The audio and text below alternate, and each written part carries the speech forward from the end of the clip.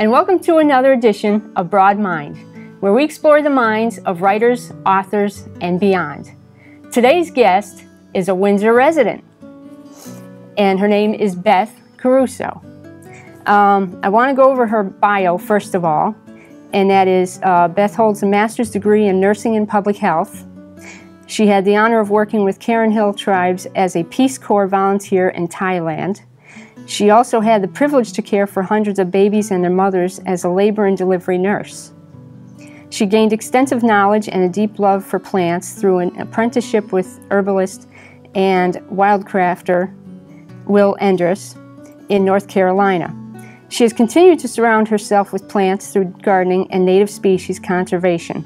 Her latest passion is to discover and convey important stories of women in American history. I must thank Beth Caruso for being on our show. Hi, Beth. Hi, thank you so much for having me. You're welcome. Very happy to be here. Very good. Um, I have to ask you, when did you start writing? Like at what age did you find your passion? Um, this is more recent, actually. The story itself is something that led me to start writing. I had always toyed with the idea of writing historical fiction, mm. but I hadn't actually done it. But then when I discovered the story about Alice Young, which is what we're talking about today, the first first woman hung in the New World for witchcraft. Wow. I felt responsible. I felt like I had to tell the story, and Windsor needed to know about it, and the rest of the world needed to know about it. Wow. Um, considering you have a love of plants and, and you've, you've done all the work with Peace Corps, um, what made you switch gears to women in American history? I mean, like, how did you get started in discovering? Well, again, it was this specific story. Someone told me about Alice Young, and they told me she was here in Windsor and the very first person hung for witchcraft. And that just amazed me because everyone I had heard about who had been hung for witchcraft in colonial times had been from Salem. Since then, I've discovered that there have been a lot of um, others in Connecticut, but that she was the very, very first one, and nobody was talking about her, and nobody knew her story, really startled me, intrigued me, amazed me. So I set off on a quest to find out more about her. Mm. And what I found out was shocking, and I decided sure to write it. But the research actually took about a year. I started in April of 2013, and I didn't start writing until August of last year, 2014. Hmm. So the process was basically looking at different maps if you look online, you're not going to find anything much about Alice Young. No, I, I couldn't find it. I couldn't find much even in no researching. The, the only the only record about her or records about her, John Winthrop Diaries mm. noted that one blank of Windsor was hung in 1647. Mm. It wasn't until the late 1800s when James Hammond Trumbull discovered on the inside cover of the Matthew Grant diary, Alice Young was hanged with the exact same date, and that matched. Um, that was really the only information we had about her, and that she may have been married to a man named John Young. We knew John Lo- Young lived on Backer Row, so that's where I started. Hmm. Really interesting. Um, usually when we think of, of like uh, witches or, or, witchcraft, we, we tend to think of like a Halloween type of um, stereotype, you know, with witches with the big black pointy hats and everything. But um, in this case, can you really explain what witchcraft is and why she was executed? Well, back in those days, they thought witchcraft was being in line with um, demons or the devil. They, they were so afraid of that. And they had no theories really that were scientifically based to explain disease and to explain a lot of other things. Hmm. So if they couldn't explain something, they would often scapegoat somebody. For example, if diseases went crazy in the community and people were dying, they would think of it as Satan making inroads into their community because they they were scared and they had no explanation. And this was a common, common belief that there were witches among them. It's very different than the religion of Wicca today, which is basically a nature based religion. What I'm talking about in the book, even though there is a lot of uh, nature and plants and herbalism in the book, it's really more about the fear of the time and the, the, the cultural way that people interpreted that fear. Hmm. Interesting. And I'm, I'm just saying to myself, well, considering that you're, you're from Windsor and everything, and this is part of its history, um, there's a name that, that always pops up within our, our own history, and that's Amy Duggan Archer Gilligan, which is was the uh, catalyst for Arsenic and Old Lace. So I'm wondering, why is it that Alice Young's story hasn't been known? It's very interesting, and I have my theories about it. I think Alice was connected to a larger family. When I did my research on Backer Row, I discovered that she was connected to one sister on one lot, another sister, then another sister sold her the next lot, then there was another sister. Hmm. So I put together a family tree of these people. And lo and behold, their brother was someone very um, famous in the colony. He was the assistant to John Winthrop Jr., and he had also worked for John Winthrop Sr. So they were a minority group within this community. You hear about the settlers from the Mary and John, Mhm. and you hear about the Stiles group that settled a little bit north, but you've never heard about this small group, which is interesting because the town that they were from in Mhm. England was Windsor. Oh, So there was something going on politically that I think. And maybe it was a historical cover up of sorts. You also hear about, oh, well, the records just weren't there. mm, Well, when I hear that, I think of, oh, was there a fire to the building? Did it burn down? Did something like that happen? But in this case, that's not true. Hmm. If you go back to the early records for the uh, court for the uh, colony of Connecticut, mhm. You discover all kinds of records the same month that she was hung wow. almost every day. The court was in session, pages after pages, yet her story is missing. Wow. So, what that tells me is the story was probably, the records were probably cherry picked out of there.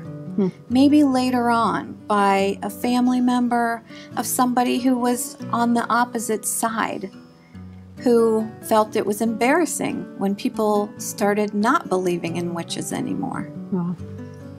Um, along the lines of, of what you're talking about, like the, the sisters and brothers, how did you research the genealogy? Um, a whole variety of different ways. I went to ancestry.com, but you do Oh. have to be careful with um, genealogical records Mhm. because people will copy over and over and the information isn't always accurate. So, whatever information I had, I tried to verify it with historical documents, mostly primary sources, whenever I could. So it's not like something you can go to the library and, like you were saying, where Ancestry.com kind of turns into a little bit of a Wikipedia situation. So you probably had to do a lot of research on this. A ton of research.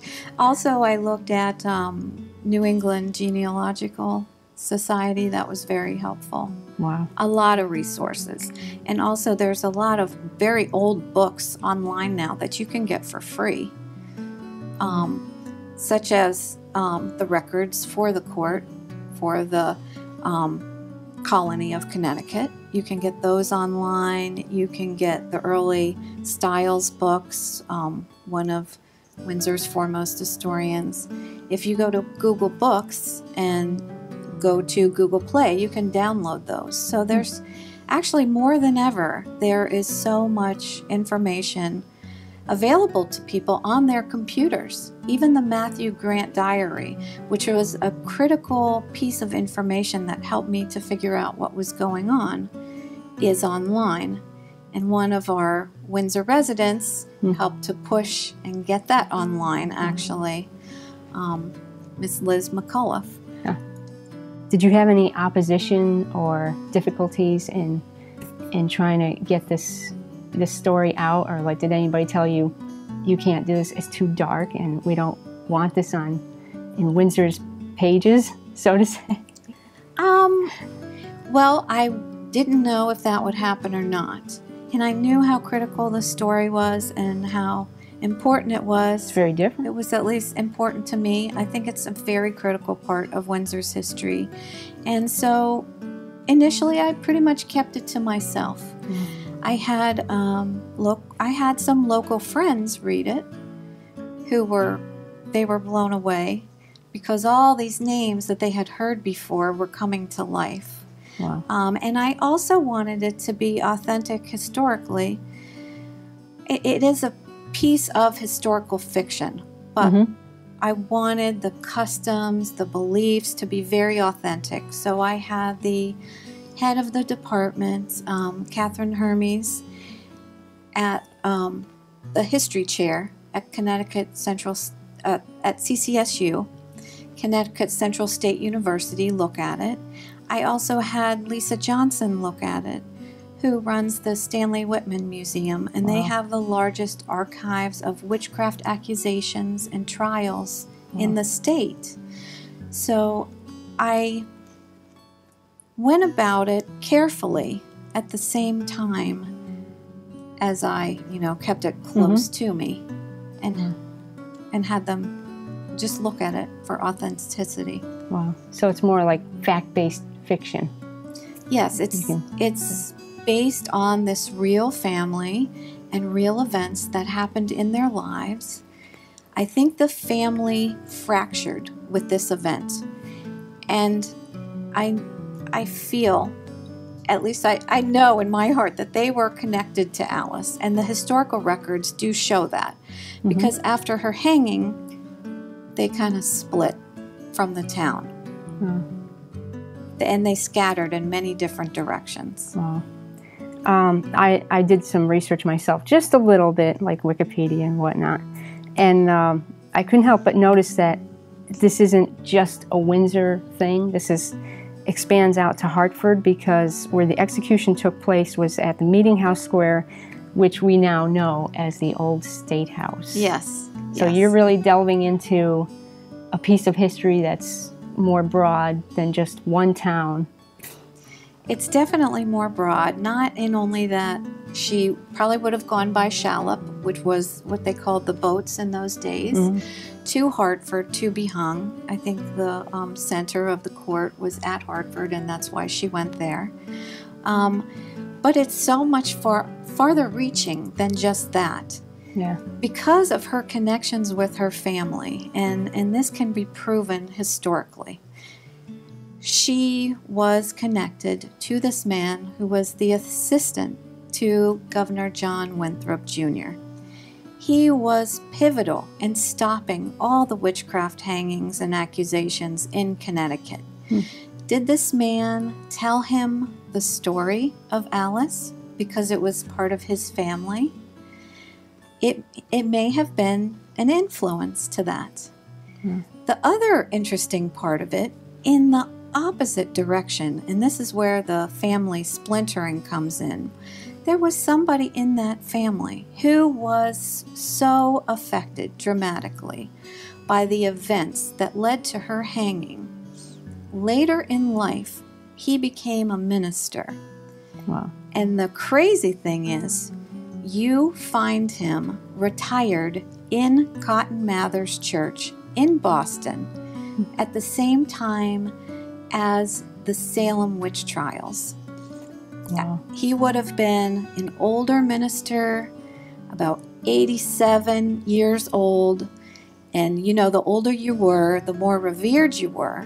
Cotton Mather was only in his 20s at the time. So he would have looked up to this man.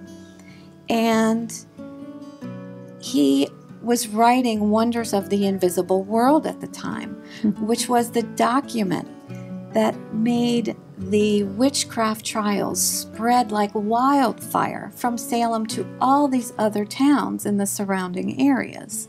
Hmm. And this same man is found in relation to one of these witchcraft scenes Mhm. with a victim. So I think there is a likelihood, at least a possibility, that this man from Windsor Mhm. in 1647 had an influence on the witchcraft trials and accusations that went beyond Salem. So, because of knowing all this, is why I've been so passionate about getting this out. I Mhm. think it's such an important story from that perspective, but it's also an important story in that it's really been there all along Yeah. the women were ignored behind the men on Backer Row. If somebody had bothered to look at who these women were, this story would have been out well over a hundred years ago. Wow. Was there a particular way you built the story? By July, August of last year, 2014, my head was just exploding with all this information. Hmm. I had enough r- uh, rough outline of what I wanted to do, and um, luckily, I have a good friend, uh, Susan Aspley, who was my friend in Peace Corps, who, interestingly enough, checked my uh, writing as I was applying to graduate school. so I told her this story, and she said, You have to get it out. You have to get it out. She is a writer herself, Mm-hmm. um, has written some wonderful books, and she coached me and she said, Just write 250 words a day. It doesn't have to be great. Fit it into your outline somewhere and and go by that. I said, I can do that. Wow. I can write 500 a day. And I marked it out on the calendar. Um, some of it was good, some of it needed to be more in depth. Anyway, I kept going until March. I was finished. Wow. And then from March until very recently, Wow. it's been revising and rewriting and Yeah. getting more in depth. Um, that's that's another thing I, I find really really interesting about authors who write about time-based pieces. Mm-hmm. And um, you wrote about 1647, Yeah. and I I read some of the uh, manuscript, and I'm I'm blown away because I I have no idea. I mean I I write about like kind of modern fiction Right. in a way, and um, it's really intriguing because the way you take the reader into that world, and I'm wondering how how do you actually manage to tap into that? I mean, seeing as though you didn't live during that time, did, does it have to do with the, the research or?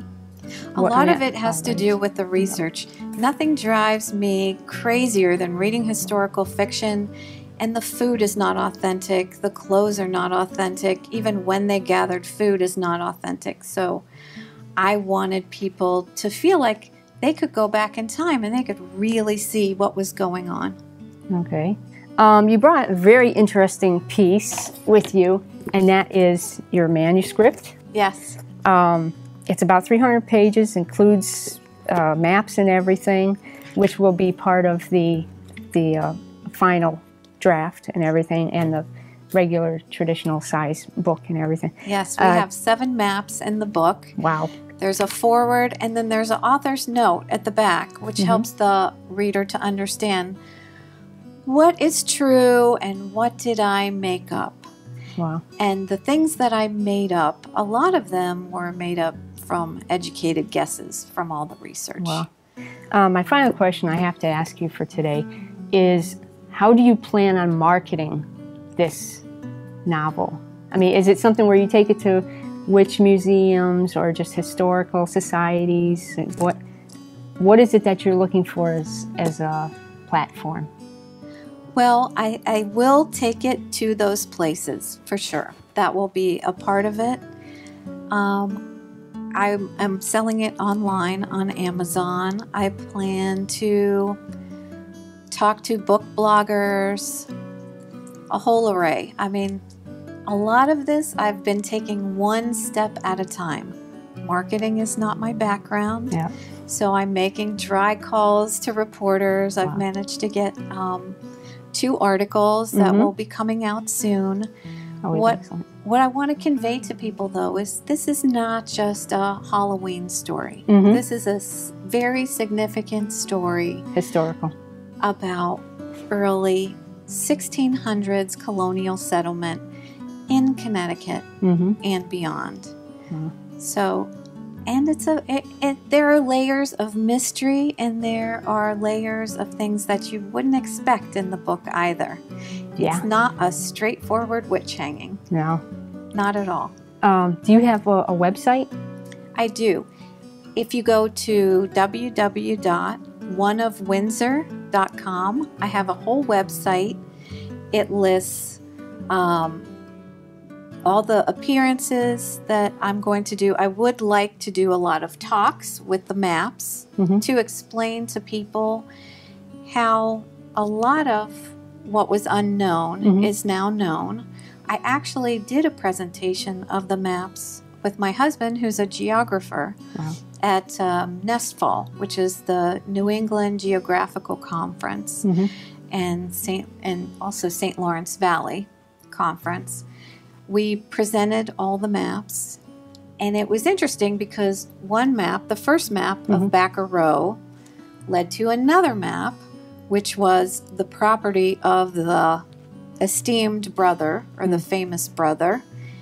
Um, by looking at a map, you find out so, so much.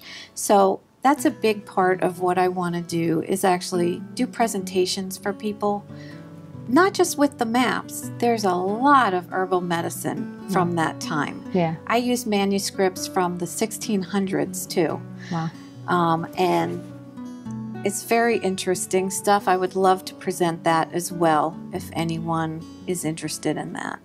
Wow. Um, we've, unfortunately run out of time, but um, I would like to thank you for for, for being on the, on the show. Thank you. I've enjoyed it. It's, it's it's been an honor for me, uh, being a Windsor resident and everything. Um, I have uh, a copy, believe it or not, of your uh, book here. It is one of Windsor, the untold story of America's first witch hanging, and it will be available. If you check on my website, www.oneofwindsor.com, it'll tell you when it's available. If it's available, it'll give you a direct link to Amazon. I will also be selling it at your wonderful book fair, which you might want to talk more about. That's right, Beth. We do have a book fair coming up. It is the Broadmind Book Fair to benefit WIN-TV, our most beloved TV station in all of Windsor. There will be a dozen authors on hand for signings, and you can talk to them about the process of writing, just like what we do here on the show. We'll also have an excellent silent auction featuring about 30 different items, and all this will take place November 7th at the Windsor Historical Society from 11 to 4. The Historical Society, of course, is at 96 Palisado Avenue. I want to thank you for being on the show, Beth, and uh, I wish you tons of luck on this One of Windsor, the Untold Story of America's First Witch Hanging, which will be available starting next week. And I want to send out a special, uh, special shout out to Joe and Liz McAuliffe. Thank you for tuning in to Broad Mind. I'm your host, T.L. Rotkiewicz. Until then.